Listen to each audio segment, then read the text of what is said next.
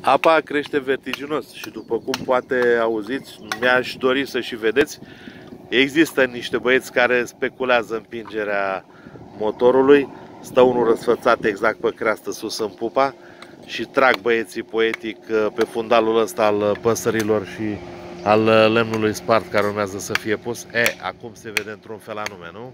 nu e așa? Am să închid să fac și o poză.